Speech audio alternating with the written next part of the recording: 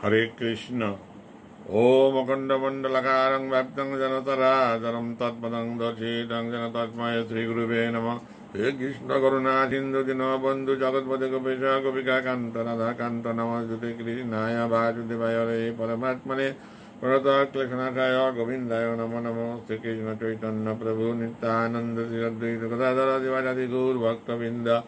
শ্রীকৃষ্ণ চৈতন্য প্রভু নিত্যানন্দ শ্রী অদ্বৈত গদাধর দিবাজাদি গৌর ভক্তবৃন্দ হরিপ্রভু জগৎবন্ধু মা উদ্ধারণ চারিহত দণ্ডপুত্রা কীটপতন প্রভু প্রভু প্রভু হে অনন্ত অনন্তময় জয় মা জয় মা জয় মা জয় মা জয় ওং জয় রাধে ওং জয় রাধে জয় জগন্নাথ দেব যুগল শ্রী চরণায় নম নম হয় মহাত্মা মহর্ষি সম্রাজ যুগল শ্রী চরণায় নম নম আপনারা সবাই আমাদের রক্ষা করুন কৃপা করুন করুণা করুন সর্বপাপ হইতে মুক্ত করুন অমৃত পুত্রা রূপে আমাদের ভগবান শ্রীকৃষ্ণকে লাভের আমাদের সাহায্য করুন হরে কৃষ্ণ সনাতন ধর্ম ও শ্রীকৃষ্ণ ভাবনামৃত প্রচার সংঘ, কৃষ্ণদাস ডাক্তার রমেশচন্দ্র দত্ত ও পরমানন্দ গুরুদেবের মধ্যে শ্রীমৎ ভগবত গীতার আলোকে এক মাসের মধ্যেই আমরা কীভাবে ভগবান শ্রীকৃষ্ণকে সাকার নিরাকার অভিন্ন জ্ঞানে লাভ করতে পারি সেই বিষয়ে আজকের আলোচনা। ভগবান শ্রীকৃষ্ণ শ্রীমৎ ভগবত গীতায় বলেছেন, নমে বিদুষুর গণা প্রবং মহর্ষয় অমাদি দেবানাং মহর্ষিনান্ত সর্বস্ব কাঙ্ক্ষন্ত কর্মনাং সিদ্ধিং যদন্ত ইয় দেবতা ক্ষিপ্রং হি মানুষের লোকে সিদ্ধির ভবতি কর্মজা যো যো জাং জাং তনু ভক্ত শ্রদ্ধা চিতুমিচ্ছতি তস্য তস্যা তলং শ্রদ্ধাং তামেব বিরোধামহম সতয়া শ্রদ্ধয়া যুক্তস্থ সধা ধনমিহতে লভতে চ তত কামন মৈব ভীতান হিতান অন্তবর্তু তলং তেষাং তদ্ভবত অল্পমিদশাম। দেবান দেবত জানতি, মদ্ভক্ত জানতি মামপি। ভগবান শ্রীকৃষ্ণ বলছেন দেব দেবী মহাত্মা মহর্ষি কেউ আমার পরম তত্ত্ব জানে না। কারণ আমি তাদের আদি কারণ। তারা আমার থেকে সৃষ্টি হয়েছে, আমার অঙ্গ থেকে তারা সৃষ্টি হয়েছে। তাই যারা দেবদেবীর ভজনা করে সিদ্ধি লাভ করতে চায়, তারা তার সিদ্ধি লাভ করতে পারে। কিন্তু তারা মুক্তি লাভ করতে পারে না। তাই যে যে ব্যক্তি, যে যে দেবতা ভজনা করিতে চায়, আমি সেই সেই দেবতার প্রতি তাদের শ্রদ্ধা, ভক্তি, প্রেম, ভালোবাসা আমি প্রদান করে দিই। যার ফলে তারা দেবদেবীকে সন্তুষ্ট করে এবং দেবদেবী সন্তুষ্ট হয়ে তার ভক্তের জন্য কাম্য বস্তু আমার কাছ থেকে নিয়ে তার ভক্তকে প্রদান করেন। হ্যাঁ। কিন্তু অন্তমত ফলং তেসাং তদ্ভব তল্প মেধসাম দেবান দেবত জানতি মদ্ভক্ত জানতি মামপি। যারা অল্প জ্ঞানের অধিকারী, তারাই দেবদেবীর ভজনা করে সিদ্ধি লাভ করতে চায় এবং সেই সিদ্ধি লাভ করলে সেটা ক্ষণস্থায়ী।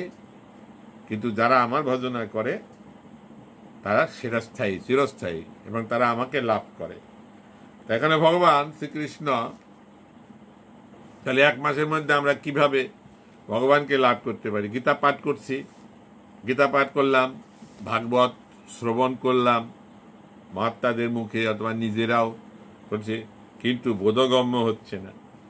এটাকে সুন্দর করে মনকে, মনের ভিতরে সেট করতে চাই। তাই জন্য আমাদের সেই জন্য ভগবান শ্রীকৃষ্ণ শ্রীমদ ভগবত গীতায় বলেছেন, তদ্বিদ্ধি পরিপাতেনা পরিপ্রশ্ন সেবয়া উপদেক্ষন্তিত জ্ঞান জ্ঞানী নস্ত দর্শন। তুমি যদি আমাকে পেতে চাও এবং আমার সঠিক পথে যদি তোমরা চলতে চাও, তাহলে তত্ত্বদর্শী জ্ঞানী গুরুদেবের শ্রীচরণে আশ্রয় গ্রহণ করো। তার সেবা করো, তাকে প্রণাম করো, তাকে নমস্কার করো, তাকে সন্তুষ্ট করো তার ফলে উনি সন্তুষ্ট বলবে, হে বৎস, তুমি কেন আমার কাছে এসেছ? তোমার কি প্রার্থনা? প্রশ্ন করো। তখন তুমি প্রশ্ন করবে যে, তত্ত্ব, তত্ত্বদর্শী গুরুদেব, তোমার প্রশ্ন শুনে এমনভাবে উত্তর দিবে যে, উত্তরের মধ্যে দিয়ে তুমি সাকার, নিরাকার, অভিন্ন জ্ঞানে আমাকে জানতে পারবে। যেমন, যতকাত্তা নপুনমোম এবং যা শশী পাণ্ডব, যেন ভূতান্ন শেষানি দক্ষাকাত্তান্ন তুমি তিনি এমনভাবে তোমাকে বুঝাবেন, যার ফলে আমার বিষয়ে, শ্রীকৃষ্ণ বিষয়ে সাকার নিরাকার অভিজ্ঞ অভিন্ন জ্ঞান, আমার বিষয়ে তোমার পূর্ণ জ্ঞান সৃষ্টি হবে। এই জ্ঞানের সৃষ্টি তোমার সমস্ত মোহ চলে যাবে। তোমার এই সংসারের প্রতি তোমার মোহ থাকবে না। তুমি সংসার করবে। সংসার করবে, বিবাহ করবে ছেলে মেয়ে হবে, ব্যবসা, বাণিজ্য চাকরি বাকরি এভরিথিং তোমরা করবে ঠিকই। কিন্তু এই সংসারের প্রতি ওই মোহটা থাকবে না। যে আমার এটাই সংসারই সব, আর কিছু নাই, এইটা মনোভাবটা তৈরি হবে- না। তাহলে কেন হবে না? আমাকে জানতে পারলে। তখন আমরা গুরুদেবের আশ্রয় গ্রহণ করলাম। গুরুদেব বলে দেখো বাবা, আমাদের একমাত্র উদ্দেশ্য হচ্ছে ভগবানকে লাভ করা। মানব জীবনকে সুন্দরভাবে সার্থক করা। সেটা আমরা ভগবান শ্রীকৃষ্ণ একটা জীবনেও তাকে লাভ করার ব্যবস্থা করে দিয়েছেন। সাত দিনের মধ্যেও তাকে লাভ করা যায়, ব্যবস্থা করেছেন। এক মাসের মধ্যেও তাকে লাভ করা যায় সে ব্যবস্থাও তিনি করেছেন। আবার আধা ঘণ্টার মধ্যে ভগবানকে লাভ করা যায়, সে সে লীলাও তিনি এই দরাদামে করেছেন। তাহলে আমাদের সেটা ভগবানের করতে হবে। আর এটা করতে গেলে কি ভগবানের সঙ্গে আমাদের, আমার অথবা আমার তোমাদের, আমাদের একটা পরিচয় থাকতে হবে। ভগবান কে ভগবান একটা বিশাল একটা জিনিস। হ্যাঁ? লক্ষ লক্ষ জনি- লক্ষ লক্ষ জনি ভ্রমণ করে পৃথিবী এসে সাধন ভজন করে ভগবানকে লাভ করা যায় না। এটা তো শাস্ত্রে বলা আছে মানে মহাত্মা মহর্ষিরা বলেন। সেটা এই কলিয়ত জীব হয়ে আমরা কীভাবে ভগবানকে এই যে এক মাসের মধ্যে লাভ করতে পারব, সেটা একটা বিরাট দ্বন্দ্বে ফেলে দেয় আমাদের। এটা পরমানন্দ গুরুদেব আমাদের সেই সমস্যাটা সমাধান করে দিবেন। তাই গুরুদেবকে অখণ্ড মণ্ডলাকারং ব্যাপ্তং যেন চরাচরম তৎপদং দর্শিতং যেন তস্ময় শ্রী গুরুবে নম। অজ্ঞান তিমিরন্ধস্য জ্ঞানাঞ্জন শলাকয়া চক্ষুরাশ্মিলিতং যেন তস্ময় শ্রী গুরুবে নম। অর্থাৎ অনন্ত কোটি বিশ্ব ব্রহ্মাণ্ডের অখণ্ড মণ্ডলেশ্বর যে ভগবান শ্রীকৃষ্ণ সাকার নিরাকার অভিন্ন জ্ঞানে তার শ্রীচরণ যিনি দর্শন করিয়ে দিবেন, তিনি হচ্ছেন আমাদের গুরুদেব সেই গুরুদেবের শ্রীচরণে শতকোটি প্রণাম জানাই। গুরুদেব, গু মানে অন্ধকার, রু মানে আলো। গুরুদেব, অন্ধকার থেকে আলো। এই যে আমরা লোভ, লালসা, কামনা, বাসনা, ত্রিগুণ, মায়ায় ভগবান যে আমাদের মোহিত করে রেখেছেন, তার থেকে এই মায়ার, মায়ের অন্ধ হয়ে গেছে আমাদের চোখ। সেই আমাদের অন্ধকার চোখেকে আলো দিবেন, জ্ঞানের আলো দিয়ে আমাদের জ্ঞান চক্ষুকে খুলে দিবেন। সেই জ্ঞান চক্ষুর মধ্য দিয়ে আমরা কি করব? ভগবানের সঙ্গে আমাদের পরিচয় হবে। কি পরিচয়? ভগবান কে? ভগবান একং মেব দ্বিতীয়ম। সাকার নিরাকার, অভিন্ন জ্ঞানে ভগবান হচ্ছেন স্বয়ং শ্রীকৃষ্ণ। তিনি নিরাকারে সাকারে শ্রীকৃষ্ণ মদন মোহন, নিরাকারে পরমাত্মা, নিরাকারে আত্মা, নিরাকারে পরমাত্মা সাকারে কৃষ্ণ, নিরাকারে পরমাত্মা, আত্মা সাকারে রাধা কৃষ্ণ, নিরাকারে ওঙ্কার প্রণব সাকারে ওঙ্কার প্রণব বিগ্রহ। তিনি এক এবং অদ্বিতীয়। আর সবাই তার অংশ, অবতার। সুতরাং এই দেবদেবী ভগবানের দেহ থেকে সৃষ্ট তার একটা অংশ। হ্যাঁ ভগবানের বিভিন্ন গুণের, নিরাকার গুণের সাকার মূর্তি হচ্ছে বিভিন্ন দেবদেবী। এবং এটা অত্যন্ত প্রয়োজনীয় মাধ্যম। যে মাধ্যমের মধ্য দিয়ে ভগবান আমরা যারা অল্প মেধসাম কলিহত জীব, অল্প জ্ঞান, অল্প আয়ু, মন্দমতি হ্যাঁ রোগে শোকে ক্লান্ত আর্ত অর্থার্থী হ্যাঁ আমাদের এত অভাব অনটনের মধ্যে এটা আমরা মন ভোগ না করে আমরা কখনোই ত্যাগ করতে পারব না। এই জন্যই ভগবান এই দেবদেবীর মধ্য দিয়ে আমাদের সকাম সিদ্ধির ব্যবস্থা করেছেন। আর এই সকাম সিদ্ধি লাভ করার ফলে পরেই আমরা পরবর্তী স্টেজে আমরা ভগবানের সঙ্গে আমাদের সম্পর্ক স্থাপন হবে। এই জন্যই ভগবান দেবদেবীর সৃষ্টি করেছেন, মহাত্মা মহর্ষির সৃষ্টি করেছেন। এমনি না, বিরাট একটা উদ্দেশ্য নিয়েই।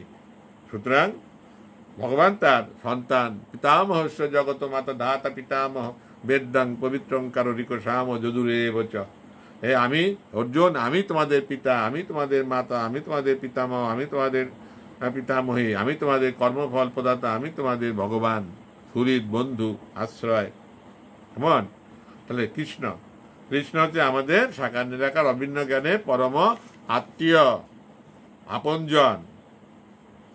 তাহলে এই আপনজন, তা গুরুদেবের মধ্য দিয়ে যখন আমরা বুঝতে পারলাম যে ভগবান শ্রীকৃষ্ণ ভয়ের বস্তু নয়, তিনি আমাদের অতীব আপনজন।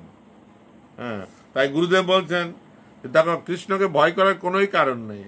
কৃষ্ণ পাঁচটি ভাবে আমাদের সঙ্গে সম্বন্ধ স্থাপন করতে চান। একটা শান্ত, তুমি নীরবে, শান্তভাবে ভগবানের সেবা করতে পারো। আর ভগবানকে পাবে। যেমন মহাত্মা গর্গমুনি পেয়েছিলেন। তুমি ভগবানকে বন্ধু হিসাবে গ্রহণ করতে পারো। তাই তাকে বন্ধুর মতো তাকে ভজনা করো।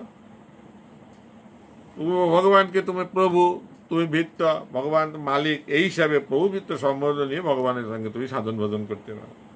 তারপরে ভগবানকে তুমি ছেলে মনে করতে পারো, বাবা মনে করতে পারো, মা মনে করতে পারো, ঠাকুমা মনে করতে পারো, ঠাকুর দাদা মনে করতে এইভাবে বাৎসল্য রসের ভাবে ভগবানকেও তুমি সাধন ভজন করতে পারো। আবার ভগবানকে তুমি প্রেমিক হিসাবে ব্যবহার করতে পারো, ডার্লিং হিসাবে ভগবানের সঙ্গে যুক্ত হতে পারো, ভগবানকে স্বামী হিসাবে তুমি পাওয়ার জন্য সাধন ভজন করতে পারো। ভগবান শ্রীকৃষ্ণ বিরাট হৃদয়ের হৃদয়ের অধিকারী, করুণাময়। ভক্তবাঞ্ছা কল্পতরু। হ্যাঁ?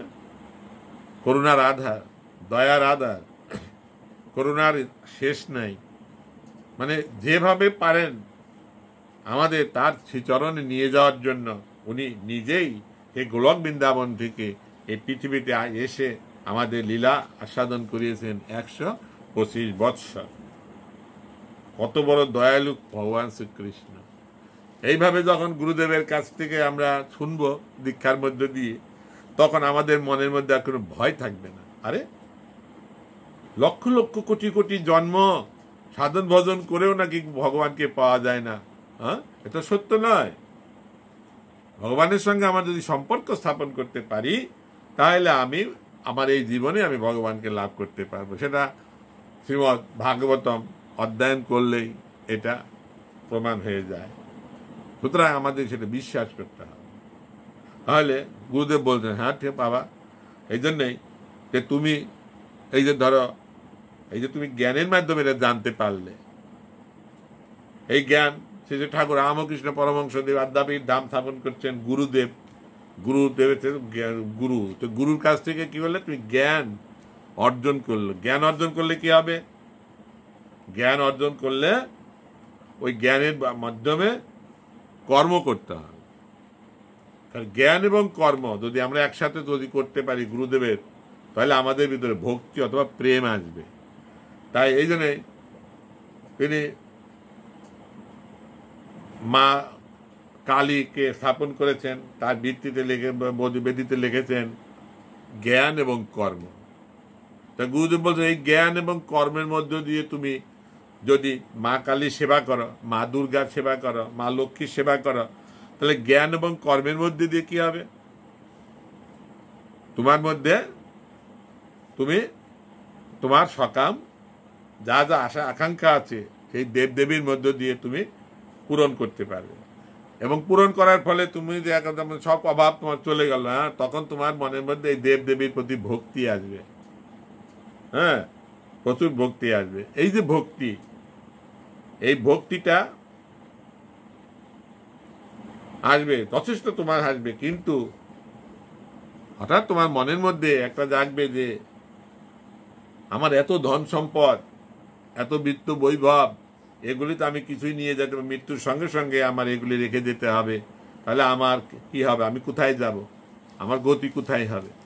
তখন গুরুদেবের কাছে প্রশ্ন করলে, গুরুদেব বলবেন, দেখো আমরা তিনটি পথের, হয়তো নরকে যেতে পারি, স্বর্গে যেতে পারি, তাহলে আমরা গোলক বৃন্দাবন, বৈকুণ্ঠে যেতে পারি। যেখানে গেলে আর ফিরে আসতে হবে না। হ্যাঁ? তাহলে এইভাবে তখন, এবার তখন বলল শিষ্য, শিষ্যর মনের মধ্যে একটি জ্ঞানের আলো এবং দিব্য চক্ষুতে সে দেখতে পেল যে হ্যাঁ ভগবান শ্রীকৃষ্ণ অতীবই সহজলভ্য। শুধু কেটে হবে কর্ম এবং জ্ঞানের মধ্য দিয়ে ভক্তির ভক্তিলতা বৃক্ষ বীজকে বিকশিত করে সেই ভগবানের প্রতি আমাদের প্রেম সৃষ্টি করতে হবে। তাই গুরুদেব বললেন, এই যে দেবদেবীর মধ্য দিয়ে তুমি এক মাসের মধ্যেই তাই ভগবান শ্রীকৃষ্ণ যখন ব্রজধামে লীলা করছিলেন, তখন ভগবানের বয়স ছিল পাঁচ বৎসর। আর গোপীদের বয়স ছিল তিরিশ, চল্লিশ, পঞ্চাশ, ষাট, সত্তর, আশি, নব্বই, একশো। অনেক গোপী ব্রজ গোপী, অনেক গোপীর আশা ছিল যে আমরা ভগবানকে কৃষ্ণকে স্বামী হিসেবে পেতে চাই। তাই তারা কাত্যায়নী ব্রত পালন করেছিলেন। সে কাত্যায়নী ব্রত কি? কাত্যায়নী কে? কাত্যায়নী মা। মা কালী, মা দুর্গা, মা লক্ষ্মী, মা সরস্বতী, মা সিদ্ধেশ্বরী, মা ভুবনেশ্বরী, মা জগদ্ধাত্রী, মা শীতলা, মা জালাকুমারী এরা এই যে এরা হচ্ছে কাত্যায়নী মা এই কাত্যায়নী মার মধ্য দিয়ে অগ্রহায়ণ মাসে গোপীরা কাত্যায়নী ব্রত অবিশ্বান্ন ভক্ষণ করে কাত্যায়নী ব্রত পালন করলেন তারা মা দুর্গার শ্রী বিগ্রহ মাটি দিয়ে তৈরি করে, তৈরি করলেন, তাকে প্রতিষ্ঠা করলেন। তারপরে ধূপ, ধুনা সব কিছু ব্যবস্থা করলেন, নৈবেদ্য, বিভিন্ন ফল দিলেন, পত্র, পুষ্প ফল ও জল হাদি দিয়ে ভবপাচার ঠিক করে তারা কি করলেন এক মাস ব্রত পালনের জন্য তারা সবাই পূজায় বসলেন এবং অঞ্জলির মধ্যে তারা ফুল নিয়ে তারা মন্ত্র পাঠ করলেন। হেমা কাত্তায়নী জগত জননী নন্দসুত কুরুমে পতি হেমা কাত্তায়নী জগত জননী, মা দুর্গা মা কালী, মহাবরেশ্বরী, মহাসিদ্ধেশ্বরী, মহাকরুণেশ্বরী অসুর নাশিনী মহিষামর্দিনী শক্তিদায়িনী বরা ভয় প্রদায়িনী নন্দসূত কুরুমে পতি। হেমা, নন্দসূত কৃষ্ণকে আমার পতি করে দাও, স্বামী করে দাও। হেমা কাত্তায়নী জগত জননী, মা জগদাত্রী মা ভুবনেশ্বরী, মহাসিদ্ধেশ্বরী মহাযোগিনেশ্বরী মারা। জগত জননী। সন্তান বৎসল্য মা করুণাময়ী। জগত পালয়িনী হে মা নন্দসুদ শ্রীকৃষ্ণকে কর মরপতি। এইভাবে মন্ত্রপাঠ করে পুষ্প মায়ের চরণে অর্পণ করলেন। আবার পুষ্প নিয়ে হে মা কাত্তায়নী, জগত জননী, মা সিদ্ধেশ্বরী, মা ভুবনেশ্বরী, মা জালা কুমারী মহাবরেশ্বরী মা সিদ্ধেশ্বরী মহাযোগিনেশ্বরী নন্দসুত কুরুমে পতি। হেমা নন্দ পুত্র শ্রীকৃষ্ণকে আমার স্বামী করে দাও, পতি করে দাও। বলে অঞ্জলি থেকে পুষ্প মায়ের চরণে অর্পণ করল। এইভাবে এক মাস মায়ের পূজা করেছে।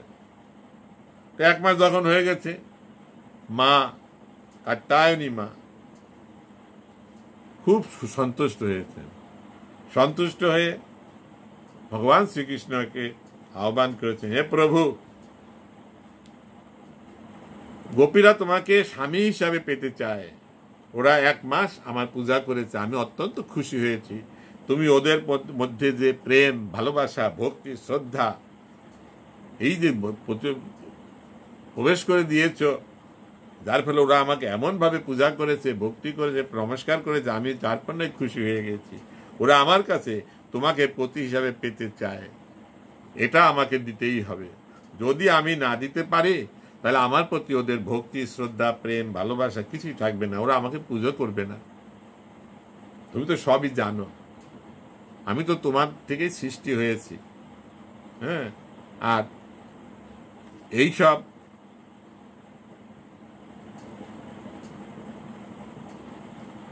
তাহলে তুমি আমাকে কৃপা করো।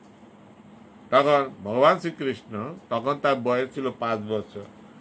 উনি আসলেন, এখানে বস্ত্রহরণ লীলা একটা হয়েছিল, সেটা আমরা আলোচনা করব পরবর্তীতে।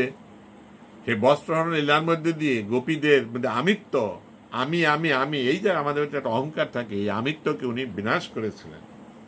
বিনাশ করার পর ভগবান শ্রীকৃষ্ণ তাদের পতি হিসাবে নিজেকে সঁপে দিলেন হ্যাঁ আমি তোমাদের আশা পূর্ণ হলো, তোমাদের আমি বর দিচ্ছি, আজ থেকে তোমাদের আমি পতিত্ব গ্রহণ করলাম। তাহলে কি হবে গোপীরা? একটি মাস, এক মাসে ভগবানকে লাভ করেছে। আমরা কেন পারব না?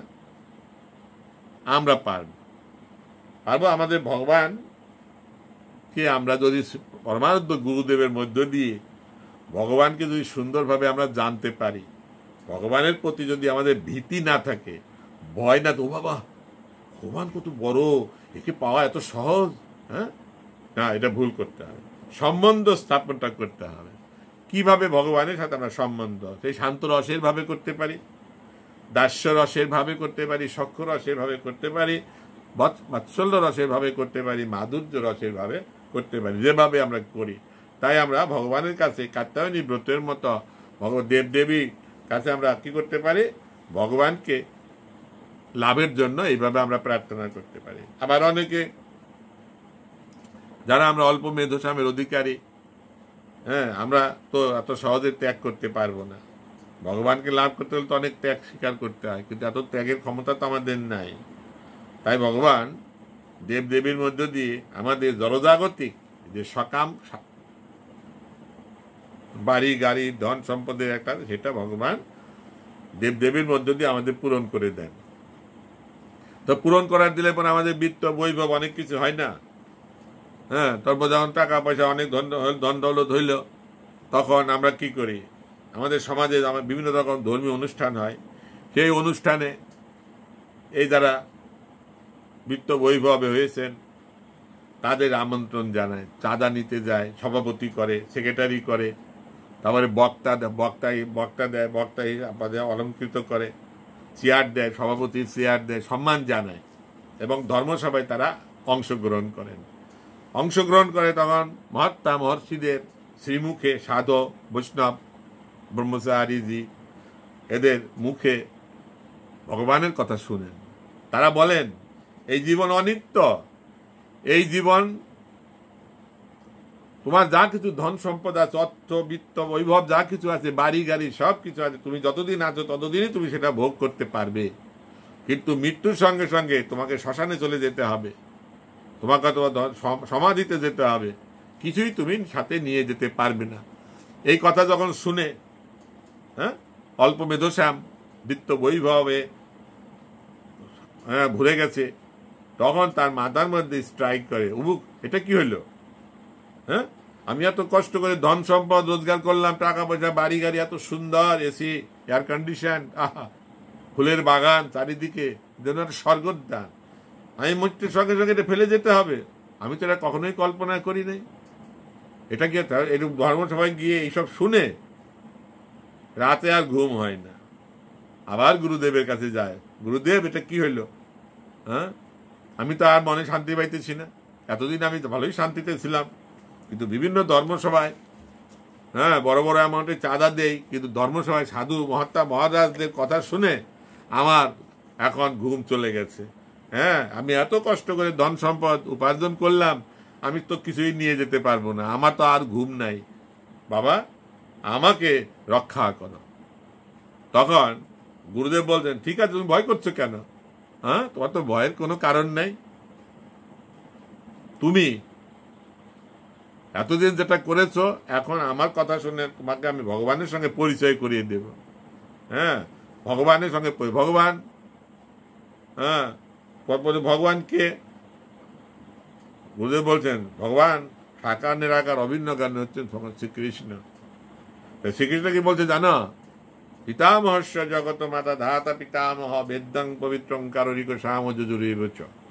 ভগবান বলছেন আমি তোমাদের পিতা, আমি তোমাদের মাতা, আমি তোমাদের পিতামহ, ঠাকুরমা ঠাকুর দাদা বেদের পবিত্র ওঙ্কার প্রণব। তাই ভগবান দেখো, বলছেন যে আমরা তার সন্তান, আমিও তার সন্তান, তুমিও তার সন্তান।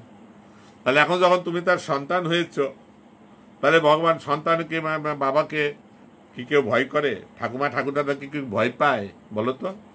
না, বাবা। ঠাকুর ঠাকুর ভয় কেন তাহলে ভগবান হচ্ছে তাতে কি হয়েছে? আর ভগবান কি জানো?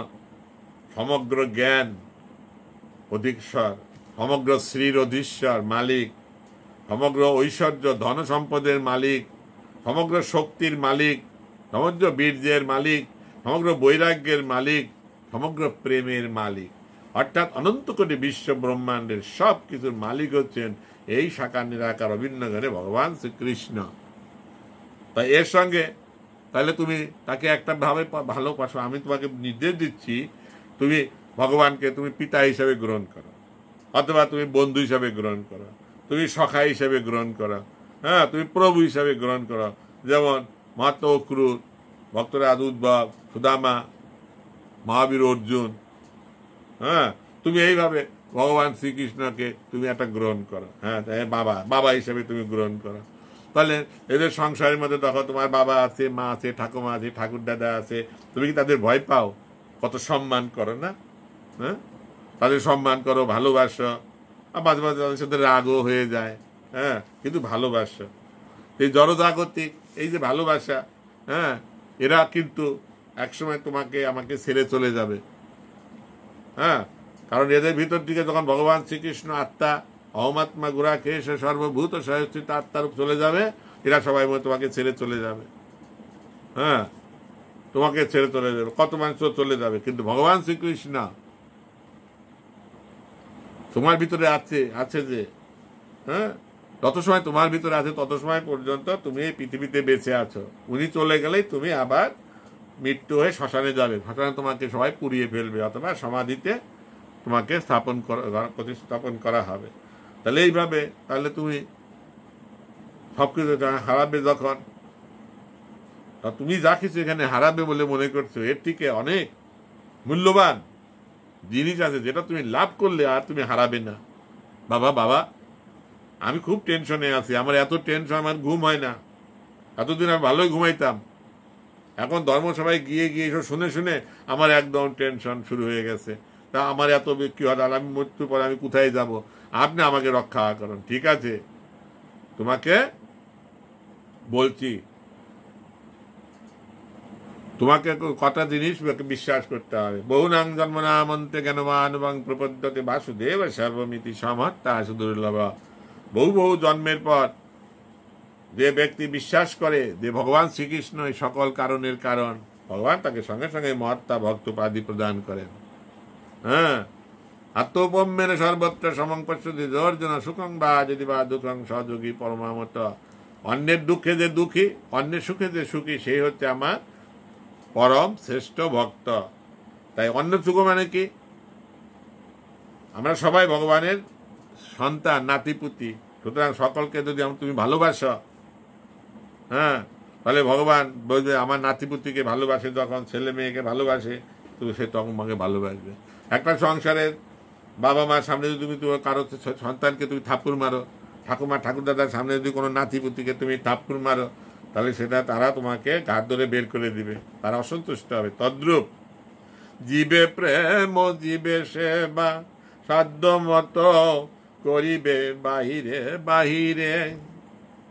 গুরু কৃষ্ণ অঙ্কার পূজা করিবে মন্দিরে মন্দিরে আর গৃহে।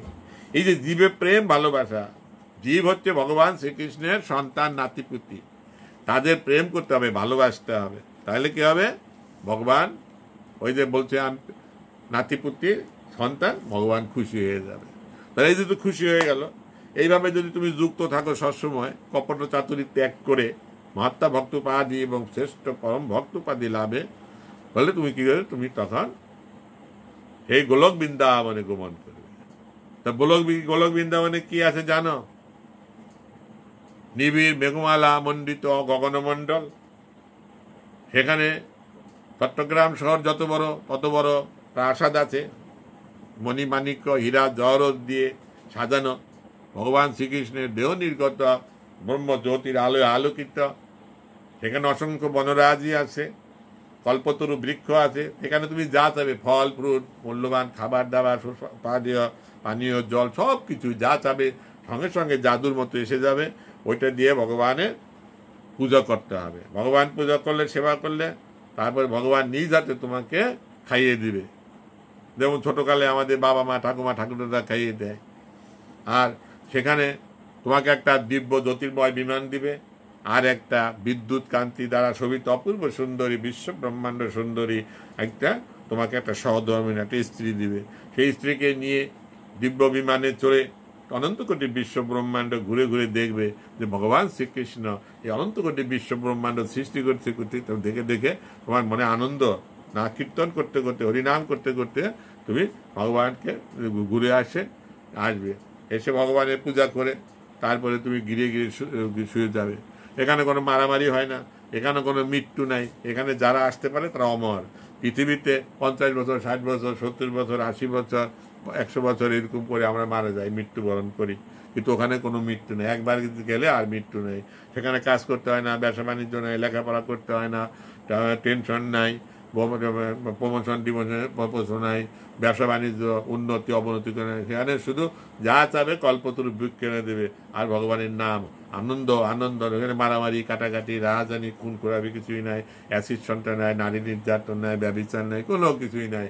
এটা একটা পরম আনন্দ পরম আনন্দ পরম আধার তখন কি বললেন?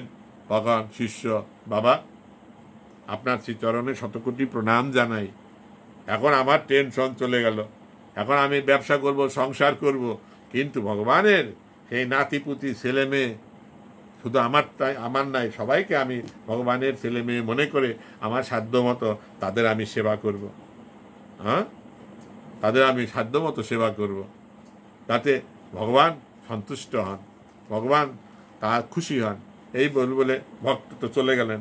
তো ভক্ত গিয়ে গিয়ে তখন তাই তো আমাদের এইভাবে ভক্তগুলি যদি আমরা বুঝাইতে পারি গুরুদেবের, তাহলে আমরা মন্দিরে শ্রী শ্রী ঠাকুর রামকৃষ্ণ পরমংশদেবের মতো সেই গুরু, গুরুর উপরে আমার পছন্দ মতো দেবদেবী, যাকে ভালো লাগে মা কালী, মা দুর্গা, মা লক্ষ্মী, মা সরস্বতী মা জগদ্ধাত্রী মা, ভুবনেশ্বরী, মা, সিদ্ধেশ্বরী, বিগ্রহ স্থাপন করে তার উপরে ওঙ্কার প্রণবের মধ্যে রাধাকৃষ্ণ বা শ্রীকৃষ্ণ বিগ্রহ স্থাপন করে আমাদের কৃপে প্রতিদিনই আমাদের সেই ভগবানের কাছে মায়ের মধ্য দিয়ে আমাদের ভগবানকে লাভের প্রার্থনা করতে হবে। হে মা হে মা কাত্তায়নী জগত জননী, নন্দসুত থেকে কৃষ্ণকে করমরপতি এটা আবেদন এটা হলো কি?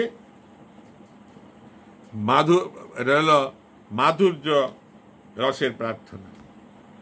হে মা কাতায়নি জগত জননী, মা কালী, মা দুর্গা, মা লক্ষ্মী, মা সরস্বতী, মা ভুবনেশ্বরী, মা সিদ্ধেশ্বরী, মা যোগী লালা কুমারী মহাবরেশ্বরী মহাসিদ্ধেশ্বরী, মহাযোগিনেশ্বরী, নন্দসুত, শ্রীকৃষ্ণকে কর মোর প্রভু। এটা হচ্ছে কি? দাস্যরসের ভাবে ভগবানের কাছে কাত্তায়নী ব্রত হে মা কাত্তায়নী জগত জননী। মা দুর্গা মা কালী মা লক্ষ্মী মা সরস্বতী মা, সিদ্ধেশ্বরী মা ভুবনেশ্বরী বাবা ভোলানাথ, শিব। সিদ্ধিদাতা, গণেশ। মহাবরেশ্বরী মা সিদ্ধেশ্বরী মহাযোগিনেশ্বরী। মহিষামর্দিনী অসুর নাশিনী শান্তিদায়িনী। ভব ভয় হারেনি নন্দসুত শ্রীকৃষ্ণকে কর মর সখা। কর মর সখী, এটা হলো কি? সক্ষরসের ভাব এইভাবে আমরা মায়ের মধ্য দিয়ে ভগবানকে এইভাবে পেতে পারি। হেমা জগত জননী, মহাবরেশ্বরী, মহাসিদ্ধেশ্বরী, মহাযোগিনেশ্বরী, মহিষামর্দিনী শক্তিদায়িনী অসুরনাশিনী জগত কল্যাণী।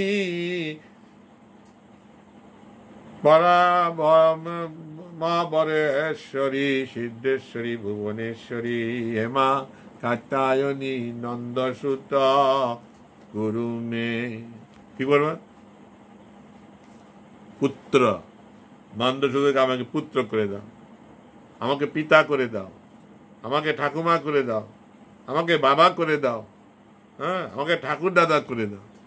আমাকে কন্যা করে দাও কৃষ্ণকে। এইভাবে যদি আমরা কারণ এটা তো ভগবান অনুমোদন করছেন তুমি আমাকে যে ভাবতে চাও, সেইভাবে আমাকে তুমি প্রার্থ করতে পারো। প্রার্থনা করতে পারো। তাহলে ভগবান এইভাবে, যেমন ঠাকুর রামকৃষ্ণ পরমংসদেব কাত্তায়নীভূত মা, মায়ের মধ্য দিয়ে তিনি ভগবান শ্রীকৃষ্ণকে ভগবান হিসাবে লাভ করেছিলেন। তাই ভগ ঠাকুর বলছিলেন, যত মত, তত পথ। কিন্তু তার উপরে এক পরম সত্য বিদ্যমান। যত মত কি? বিভিন্ন মত আছে এবং বিভিন্ন মতে বিভিন্ন ভিন্ন গুরুদেব আছেন। তত পথ, অসংখ্য পথ। মা কালী, মা দুর্গা, মা লক্ষ্মী, মা সরস্বতী, মা ভুবনেশ্বরী, বাবা ভোলানাথ সিদ্ধিদাতা গণেশ, বাবা সে মা কার্তিক লক্ষ্মী, সরস্বতী হ্যাঁ শিব হ্যাঁ বাবা লোকনাথ, মহর্ষি শঙ্করাচার্যজি, বিভিন্ন পথ, এরা হলো বিভিন্ন পথ।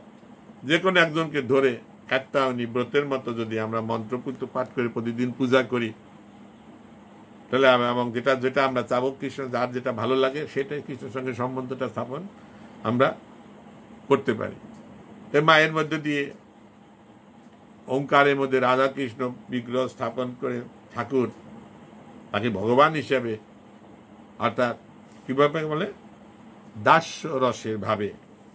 হ্যাঁ ভগবান শ্রীকৃষ্ণ হচ্ছে প্রভু, ঠাকুর হচ্ছেন তার দাস। সেই ভক্ত দাস্যরসের ভাবে ঠাকুর এই কাত্তায়নী ব্রতটাকে এই কলিযুগে ওনার জীবনের সাধনার মধ্যে দিয়ে সেই দাপর যুগের কাত্তায়নী ব্রতকে এই কলিযুগে উনি সফলভাবে আমাদের প্রদর্শন করেছেন। এটা অর্থাৎ গুরু বিষয়। তাহলে ঠাকুর তার এক জীবনের সাধনাতেই এটা লাভ করেছে। তা আমরা পারব। আমাদের থাকতে হবে বিশ্বাস। জয় রাধে রাধে কৃষ্ণ কৃষ্ণ। গোবিন্দ গোবিন্দ বলরে সাররে মন, কপট চাতুরি, বদনে বল হরি হই। জয় রাধে রাধে কৃষ্ণ কৃষ্ণ। গোবিন্দ গোবিন্দ বলরে কপট চাতুরি ত্যাগ করে এই কৃষ্ণ, রাধা গোবিন্দের সেই পূজা করতে হবে যার যে পথটি ভালো লাগে। এটা তো স্বাধীনতা। যত মত, তত পথ, এটা হচ্ছে স্বাধীনতা। এটা আপনার যাকে খুশি গুরু নিতে পারেন, যাকে খুশি দেবদেবী নিতে পারেন। কিন্তু বাধ্যবাধকতা হচ্ছে ওঙ্কারের মধ্যে রাধা কৃষ্ণ বা শ্রীকৃষ্ণের বিগ্রহ স্থাপন, এটাই হচ্ছে বাধ্যবাধকতা। একটা দেশে আমরা স্বাধীনতা ভোগ করি, কিন্তু একটা বাধ্যবাধকতাও আছে। রাষ্ট্রের সেই আইন, বাধ্যবাধকতা আইন মেনে স্বাধীনতাকে যদি আমরা উপভোগ করি এটা অত্যন্ত শান্তিদায়ক হয়। এটা অত্যন্ত খুব সুন্দর হয়। জীবনকে সুন্দর করে, জীবনকে পবিত্র করে, জীবনকে মঙ্গলময় করে। তাই এই যে আমাদের স্বাধীনতা, গুরু ধরনের স্বাধীনতা, দেবদেবী পছন্দ স্বাধীনতা, কিন্তু বাধ্যবাধকতা হচ্ছে ওঙ্কার প্রণবের মধ্যে রাধা কৃষ্ণ বা শ্রীকৃষ্ণ বিগ্রহ স্থাপন করে তার সাধনা এটা হচ্ছে বাধ্যকতা, বাধ্যবাধকতা।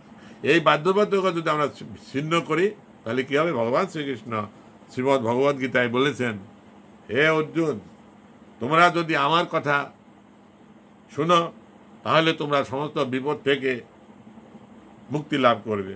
কিন্তু তোমরা যদি আমাকে অবহেলা করো, আমার কথা না শোনো, তাহলে তোমরা বিনষ্ট হইয়া যাইবে।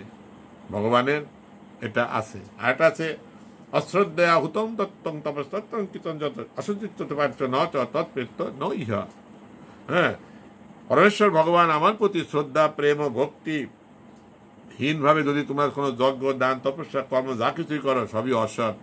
ইহকালে পরলাক কালে এর কোনো উপকারী হবে না। এটা উলুবনে মুক্ত স্মরণের মতো হবে।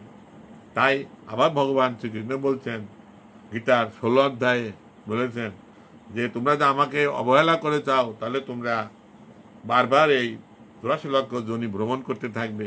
সাপ ব্যাং ব্যাঘ্র কেঁচো বিভিন্ন রকম কীট, কীটে তোমরা জন্মগ্রহণ করবে। এই নিচু জনিতে জন্মগ্রহণ করতে করতে একেবারেই তোমরা আমাকে ভুলে যাবে আর কখনোই তোমরা আমার কাছে ফিরে আসতে পারবে না। তাই স্বাধীনতা ভোগের মধ্য দিয়ে বাধ্যবাধকতাকে আমাদের শিখতে হবে। সেটাই শ্রী শ্রী ঠাকুর রামকৃষ্ণ পরমহংস দেখিয়ে দিয়েছেন।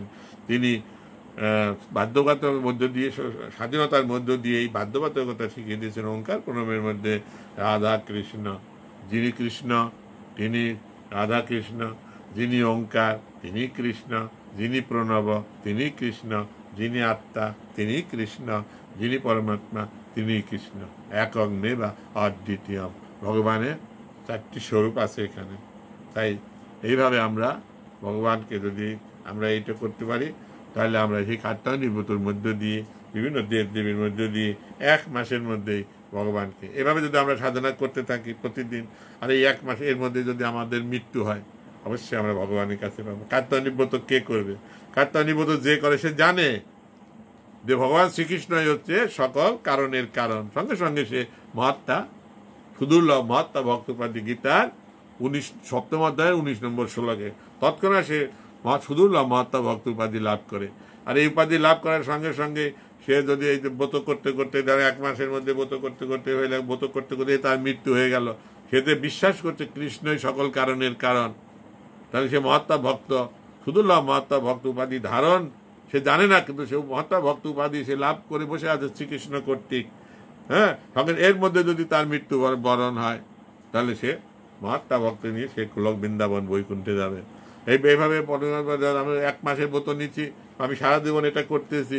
এর এই চালু অবস্থায় বিশ্বাস স্থাপন অবস্থার মধ্যে যদি আমাদের মৃত্যু হয়, তাহলে ওই যে অষ্টম লেখা আছে, শুক্লপক্ষ এবং কৃষ্ণপক্ষ, শুক্লপক্ষে মৃত্যু হলে মৃত্যু হলে মুক্তি লাভ হয়, আর পুনর্জন্ম হয় না, আর কৃষ্ণপক্ষে মৃত্যু হইলে এটা দেবলোকে, চন্দ্রলোকে গিয়ে আবার ফিরে আসে। এটা আর হবে না। কারণ শুক্লপক্ষ, কৃষ্ণপক্ষটা হচ্ছে মহামহাজ্ঞানী যোগী সাধকের ব্যাপার। তারা সাধনা করে, তারা ঠিক করেন, আমি শুক্লপক্ষে দেহত্যাগ করব না কৃষ্ণপক্ষে দেহত্যাগ করব। কিন্তু আমরা অল্প আমাদের কলিহত জীব। আমাদের পক্ষে ওটা তখন আমাদের শুধুমাত্র কি হবে? জ্ঞান ও ভক্তি, অভ্যাস এবং কর্ম নিয়ে আমাদের ভক্তি যোগে আমাদের কৃষ্ণ ভাবনাময় হতে হবে। কৃষ্ণ ভাবনাময় হতে হতে হতে আমাদের কৃষ্ণ ভাবনামৃত তৈরি হবে। সেই অমৃত হচ্ছে আমাদের সুদুর্লভ মহাত্মা ভক্তপাধি গোলক বৃন্দাবনে যাবার চাবি। তাই এইভাবে আমরা যদি কাত্যানিব্রত প্রতিদিন আমরা মন্দিরে এইভাবে পুজো করি, শ্রী ঠাকুর রামকৃষ্ণ পরমাংশ দেবের নির্দেশ অনুসারে, তাহলে এই এই চলো অবস্থাতে যদি আমাদের মৃত্যু হয়, hundred percent guarantee. Hundred percent কেন? হাজার পার্সেন্ট গ্যারান্টি আমরা গোলক বৃন্দাবনে ভগবান শ্রীকৃষ্ণের কাছে চলে যাব যেখানে আর ফিরে আসতে হবে না। হ্যাঁ মৃত্যুঞ্জয় হয়ে যাব। হরে কৃষ্ণ। ওং বন্দে পুরুষোত্তম ভগবান শ্রীকৃষ্ণ কি জয়? ওং বন্দে পুরুষোত্তম ভগবান শ্রীকৃষ্ণ কি জয়? ওং বন্দে পরমানন্দ গুরুদেব যুগল চরণ কি জয়? ওং বন্দে আহ, পরমানন্দ গুরুদেব যুগল চরণ কি জয়? ওং বন্দে মানম পদম চারিং বৈষ্ণব কুল তিলকং বন্ধু কৃষ্ণ দৈপায়ন বদুভ্যাস জগত ভগস্বামী চরণং জগদুদ্ধারণং মামানবমানায়কং মতি ভক্তি সদ্গুরুং তং নমামি হরে কৃষ্ণ জয় গুরুদেব জয় জগৎ বন্ধু সকলে সুখে থাকুন সকলে ভালো থাকুন সকলে মঙ্গল করুন তাহলে লাইক দিবেন সাবস্ক্রাইব করবেন উৎসাহ দিবেন হরে কৃষ্ণ